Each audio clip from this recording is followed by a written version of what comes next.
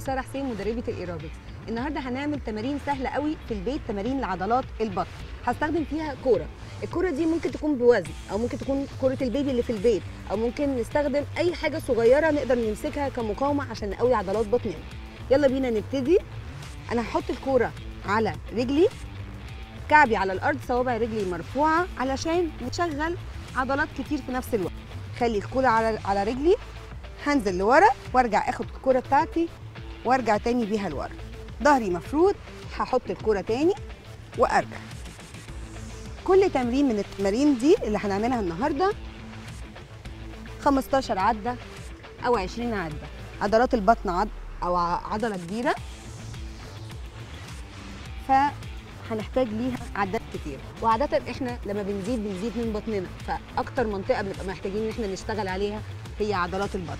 فكل ما هنزود كل ما هنزود العدات كل ما هنحرق دهون أكتر في المنطقة دي. تاني تمرين معانا هحط الكرة على الجنب وهرجع تاني. جنب وجنب. وفوق وأرجع تاني قدام وشي وأنزل بيها تاني. وشي التمرين اللي بعده هرفع رجل أعدي الكرة من تحتيها وأرجع تاني. هنا وأرجع. هعدي الكرة من تحت رجلي وأرجع. كل ما هيبقى أسرع كل ما هزود التوافق العضلي العصبي عندي. وفي نفس الوقت أشغل رجلي مع بطني. ودراعاتي هي برضو شايلة الكوره اللي هي لو هي وزن هي شايلاها. يعني الكوره دي وزنها 2 كيلو. في 3 في كيلو في نص كيلو وفي الكور الصغيرة بس. لازم نستخدم حاجة عشان نحسن التوافق العضلي العصبي بتاعنا. هعيد معاكم التمارين تاني. كرة على رجلي. شايلاها. مركزة إن أنا شد عضلات رجلي عشان أشيل الكرة بتاعتي.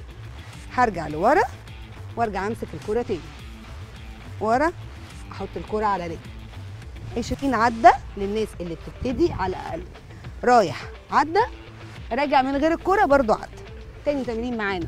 لعضلات الوسط هنا للجنب بخبط الكرة على الأرض وأرجع أشيلها تاني أنزلها تاني على الأرض وأرجع تاني. التمرين اللي بعده إن أنا هعدي الكرة من تحت رجلي رجل ورجل رجل ورجل. التمارين دي كلها تمارين لعضلات البطن. هنشد عضلات بطننا هنخسسها وفي نفس الوقت هنحرق الدهون الزيادة اللي فيها. رجلينا شغالة دراعاتنا شغالة في نفس الوقت وفي كمان عنصر مهم قوي هو التوافق العضلي العصبي شغال معانا. أشوفكم الحلقة الجاية.